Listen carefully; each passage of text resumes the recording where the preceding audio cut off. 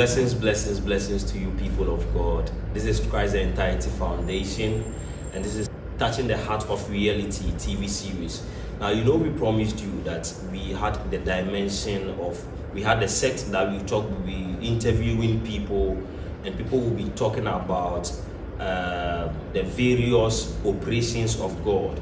Now, what I mean by this is, you know, the Bible talks about love, the Bible talks about hope Bible talks about faith. The Bible talks about several dimensions. Now, because we don't want it to be just a matter of the word that people read and then they are able to fraternize with it, we also want to bring out the realities of these operations of God.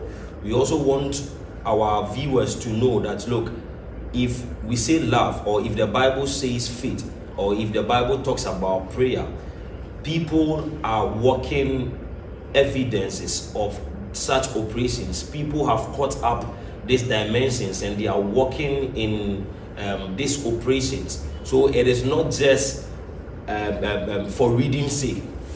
You understand? It is not just for us to go read about it and we know about it, but we want the practicality. We want to see people who have caught up these dimensions and people who are evidences of this dimension.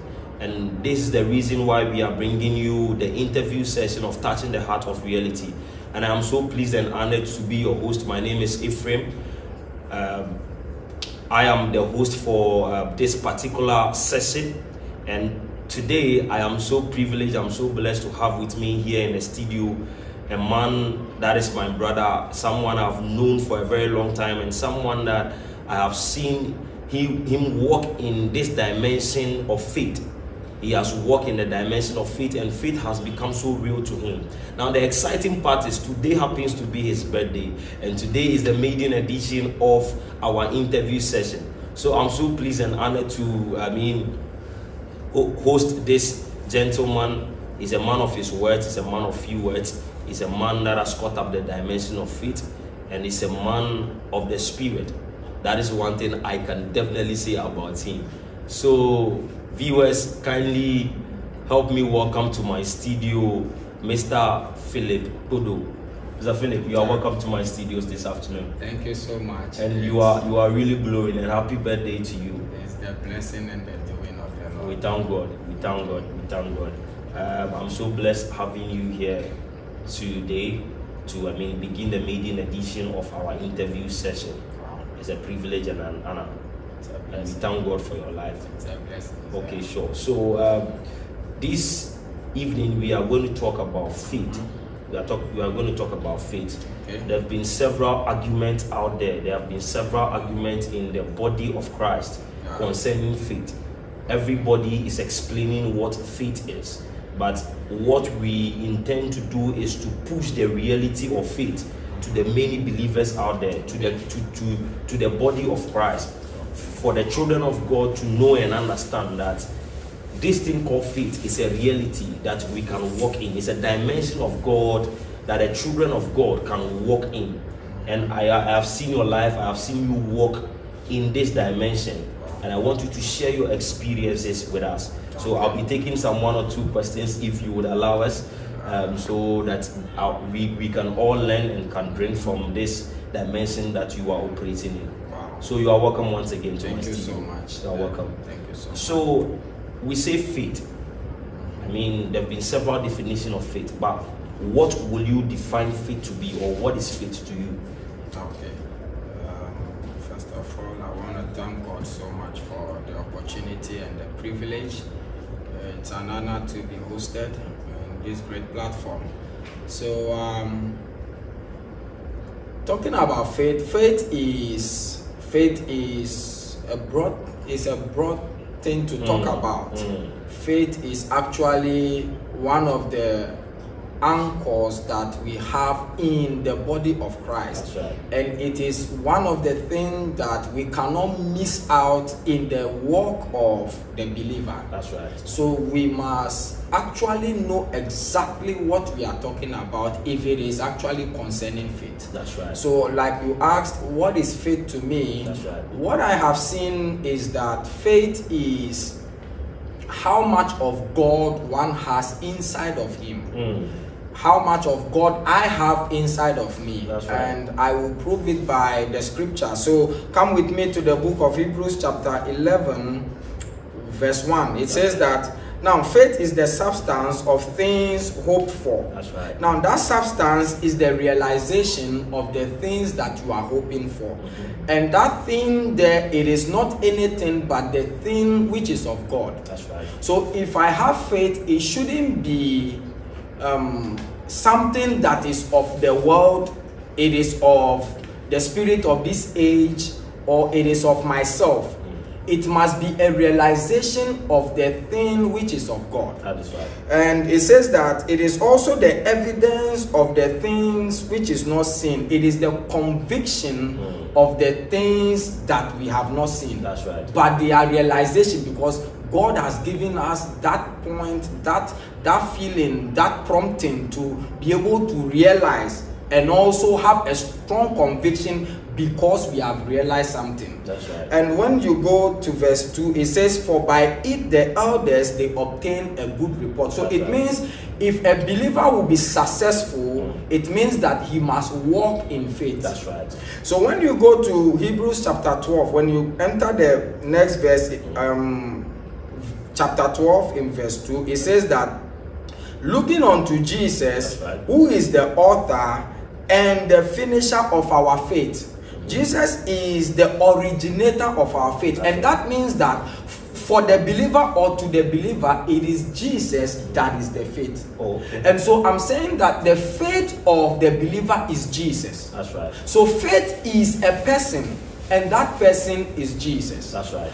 And if faith is a person, that person must be someone I know by myself That's and right. for myself. That's right. So one thing I say is that faith is personalized That's right. and it is individualized. That's right. So faith is actually how much of God you have inside of you Mm-hmm. by the realization of the things of God that God has allowed you to actually fraternize with, to experience. And by that experience, you will get to know God, and that God you are getting to know is in bits.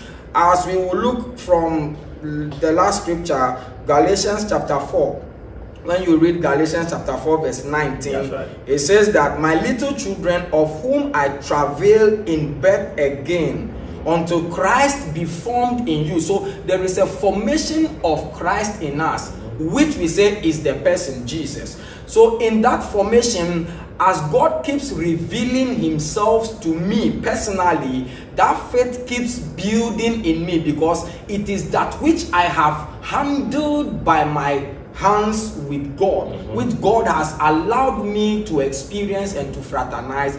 It is such things that builds faith in me. Okay. And so I said faith is how much of God one has inside of. Okay, thank you so much for I mean this explanation. Now, one thing that uh, keeps baffling people personally, people mostly interchange faith with hope.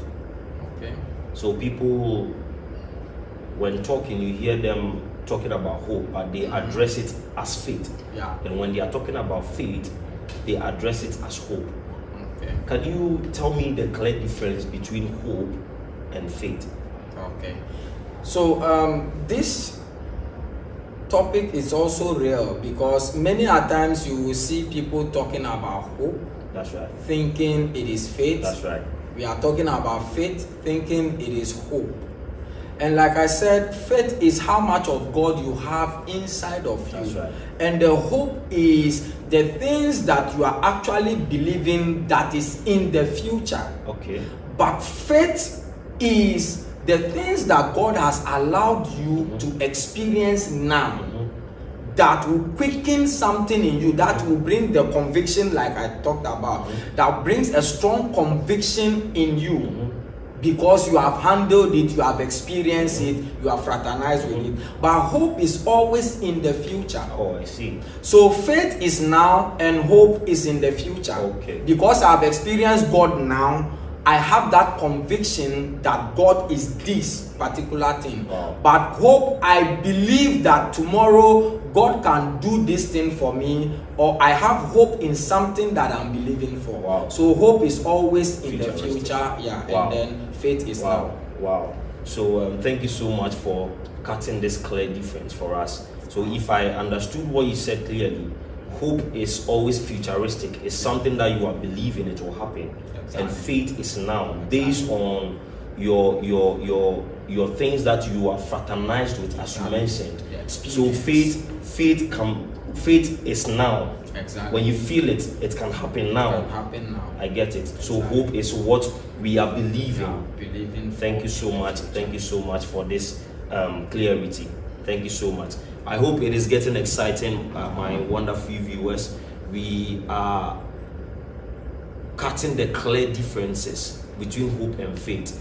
We, we, we are dissecting faith. And as you listen to the man of God, he says that what faith is the is the amount of God one has on his inside, and faith is what is personalized and individualized.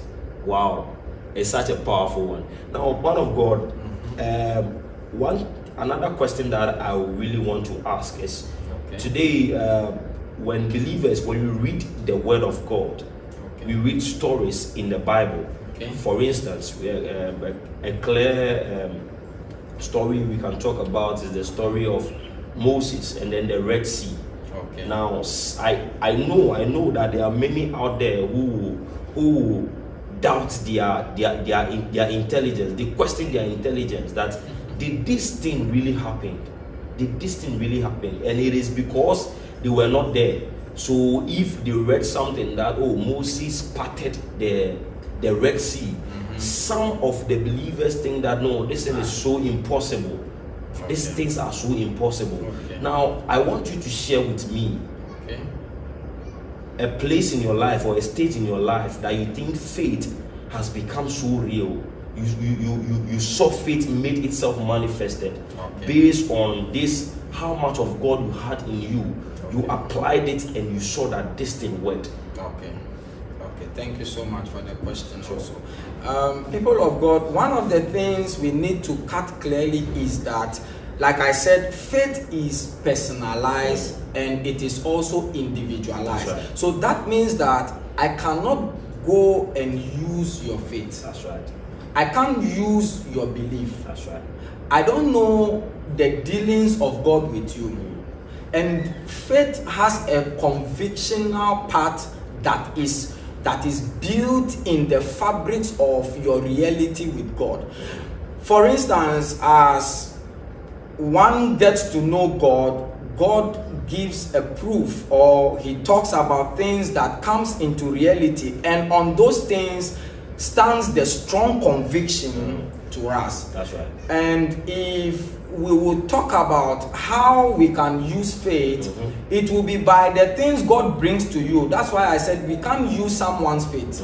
Like you are listening to me, I cannot use your faith, you cannot use my faith. right. And if I want to say Moses had his encounter with God Mm. separately and differently That's right. he knew what he he handled That's right. he knew what he saw Mm. he knew what he heard Mm. i was not there Exactly. and it was because of the things he heard and see or saw that actually gave him that strength or that mind to think that god can part the sea That's right. and it was possible because he obeyed an instruction That's right. but for me, I have to also go to God for myself and by myself That's in order to hear from God and to know what God wants me to do now. Right. And it will be by obedience to the things that God has asked me to do that I can see a possibility Mm. that is now. Mm.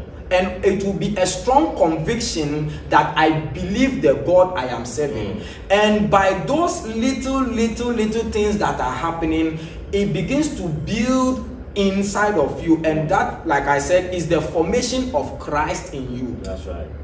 So one has to actually experience God for himself Mm. and by himself in order to build his own faith. Mm. Mm. I get it. I get it. Okay, sure. So the, thank you so much for this explanation. So, what is your experience with God Okay. when it comes to faith? What have you experienced that you know this was born out of a result, out of the result of faith? So, out of the result of faith that I had, this thing came to pass. Okay. Um, if we would talk about experience, yes, of course, we have a lot of experience. Oh. We, we have experienced one or two things that we can say that is actually bringing a strong conviction in us, and it will be because of those things we are actually doing something with God. Right. I will start by, let's say, um, prophesying. For instance, I can hear God and I've been hearing God and I could pick up some things about people and I'll tell them, even though it has not happened. But the moment I begin to tell them those things, it begins to happen. And as it is happening, there is a strong conviction that is building inside of me hmm. that will become an anchor to my belief in God. Hmm. That is just citing an example. For instance, recently I was at the workplace, I was late. It, it- it was late, I had to close to work. It was around 11 to 12, and a strange fear just came upon me. And as that strange fear came upon me, I tried to scan, I tried to check what was actually bringing that fear because I am someone who does not fear. That's right. I don't fear anything, I don't fear anybody, but except God. Indeed, we fear God. That's right. And I was checking to see what is actually bringing this fear. I checked, I didn't see anything. And I continued. I left. When I left, I was going. It was almost 12 a.m. So I was thinking, ah, is it because it is late? That is why this fear is coming upon me that I'll be attacked or someone could. But I realized no, because I've been staying even um, up to more than that hours Yeah. outside and i realized it was not that so even in the car i was still contemplating i was still feeling the the presence of fear that was not normal. Mm. and as soon as i got i got down from the bus i i started fraternizing with god. I started i started communing with god. And then it was as if i felt as if i was alone. And that moment god saw my heart. And as God saw my heart, He clearly spoke to me and said, Philip, did I not tell you that I will be with you? Hmm. Immediately he said that, he said, Behold. And immediately I raised my head, I saw a lightning of fire ahead of me. Hmm. And it was something that was not like normal. It was not there. I saw literal lightning, fire hmm. burning before me. And it actually prompted me that yes, God is with me because right. He even told me there that, Did I not tell you that I will be with you? And He will say, Look back. And when I look back, I will see literal lightning. Literal lightning no thundering, but I will see the lightning. Anytime I turn back, I will see a lightning signifying the presence of God. It, it was so intense to the point that myself I became afraid Wow. because God must be feared, and when He reveals Himself in the elements, sometimes you can be afraid. Exactly. I became afraid to the point that that thing that I was afraid of was swallowed out, and then again. I, there was um, a kind of a boldness that came upon me out of the presence of God that was with me, Wow. and that thing quickened my faith there and there. Wow. And it was because I experienced it, I fraternized with it. It built something in me that is called faith because right. I handled it That's by right. my hand, and That's that right. is an example That's I'm just giving to That's you. right. Thank you so much um, for this wonderful example. I mean, so you see, viewers out there, it is not just about what we have read in the Bible. I told you that people are living examples, they are living evidences of certain certain dimensions of God. And clearly you can hear what the man of God said. And this has boosted his faith in Yeah. God. this has boosted his faith in God. That's right. Listen to me out there. Faith is real. Faith is real. Jesus Christ said that if you have faith as little as the mustard seed, That's right. you can speak to the mountain that it should move to a different place and it will happen. That's right. It will happen. So you see, faith is real. Faith is real. Faith is not just something we read in the Bible, but it is a reality that every believer and every child of God needs to fraternize with. That's right. Thank you so much, man of God. But before you go, my last and final question. Okay. I want you to speak to the many viewers out there. Okay. Tell them something. Okay. I want I want you in any any peace of mind that is on, on your heart that the Lord is laying on your heart. I want you to speak to them. Okay. So um, thank you for listening, uh, people of God. One of the things I would tell you is that I said this thing and I'll keep hammering it. Is that faith is personalized and it is individualized. Don't leave your faith in another man's hand. That's right. because you may not know for instance let me say your man of god for instance you could believe in him have faith maybe in him or whatever it is but even the bible says curse be a man that putteth his Right. trust in another man That's right. it is only god that we must believe That's right. and so as you try to find god if he sees your heart and how true and genuine you are he will show up and as he shows up the things he reveals to you will be a strong conviction that will build faith inside of you Wow. because there will be the realization and the actualization of the things Wow. those are Wow. that are of god Wow. and and and I would say that Daniel said something. He said, um, "The people that do know they are God, they shall be strong and they shall do exploits." So there is the difference of knowing about God and knowing God. That's right. People know about God in books, in the Bible, or in anything they have read or right. studied or anything. It is just knowing about God. But knowing God is personalized. Mm. And that personalized is about you actually experiencing God for yourself right. and by yourself. Right. And it is by the people that have experienced God by themselves and for themselves will be the people that will be strong and can be great and do Exploit. exploit. Wow. So, people of God, my advice or my suggestion to you is that know God for yourself right. and by yourself. That's and it will be that by these things there will be a strong conviction that will be building inside of you that will be the how much of God you have inside of you. so it is about how much encounters you are having Mm. will begin to build you or how much of experience you are having with God will be the faith that will be building That's in you right. because if you if you do not know a side of God you Mm. can't believe God That's for right. it That's and right. it is true That's right. If you do not know a side of God, you can't believe God for it.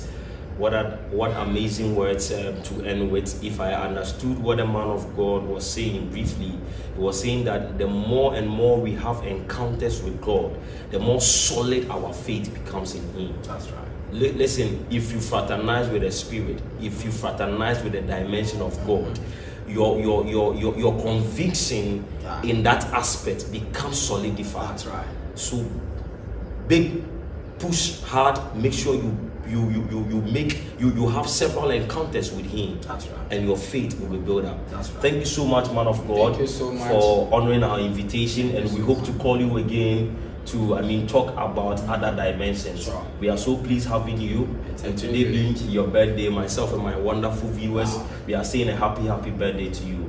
May you Amen. grow in the wisdom and in the stature of the Lord. We are grateful, sir. Amen. Thank, you. you so much So thank you so much, um, wonderful viewers, for being with us. We want to remind you this Christ the Entirety Foundation, touching the heart of reality TV series, and this is the interview session. This is the interview session. Now you see our numbers out there. If you have had any encounter that you also want to be on this platform, you also want to share your experience, kindly pick these numbers and call us. Reach out to us. Let us speak. Let us interact. Let us all build up in God. Let us make the Christendom or the the, the, the, the, the, the body of Christ a reality. Listen, God is real. Christ is real, the Spirit of the Lord is real, and the dimensions of the Lord are very real. So if you have any encounter, if you have any experience, if you want to be on this show, can you pick any of the numbers and let us talk. So until then, then we meet you next week with our next series. Thank you so much. I am your host. My name is Ephraim, and see you next week. Bye bye. This one. And I want you to follow us on all our social media handles. We are on Twitter, we are on Facebook, we are on Telegram, we are on YouTube, and we are on WhatsApp. You can follow us even on our website, which is www.christtheentiretyfoundations.com. Join us, and your life will never be the same. Thank you.